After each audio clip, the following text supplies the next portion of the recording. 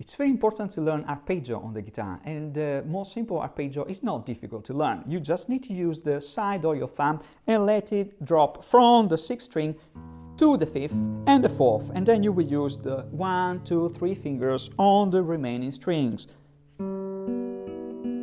So just like this, and you can come back